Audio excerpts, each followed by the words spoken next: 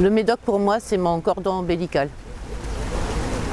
Voilà, c'est là où je suis née, c'est là où je vis, c'est où j'ai mes racines.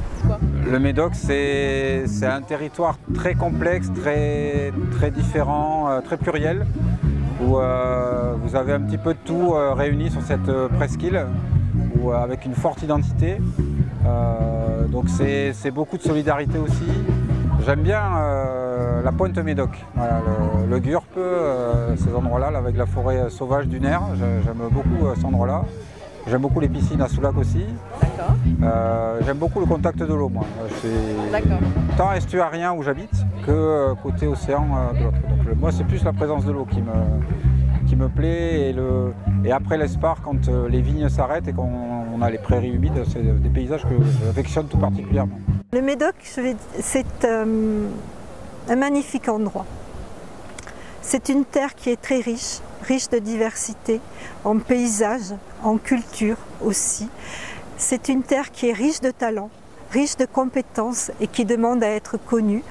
On s'y arrête, on y vit, on découvre, on savoure, on partage et on invite. Mon médoc à moi, c'est Cussac Fort Médoc et mes brebis, surtout mes brebis. J'ai la chance d'évoluer dans un site magnifique, donc le fort euh, à Cussac, qui fait face à la citadelle de Blaye.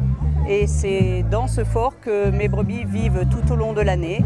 Euh, j'ai un bureau de travail magnifique euh, avec mes brebis qui entretiennent de façon écologique et naturelle, en éco-pâturage, une partie du fort.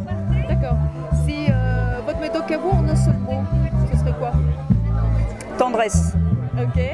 Et votre endroit préféré dans le Médoc Le bâtiment de la poudrerie qui est situé dans le fort Médoc c'est plein de choses, c'est plein de diversité. Mais moi je suis une médocaine de souche en fait.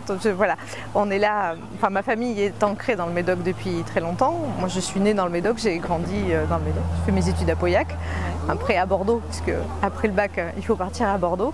Et j'ai toujours travaillé dans la briqueterie, donc je suis toujours, euh, toujours restée ici, mariée à un médocain. D'accord.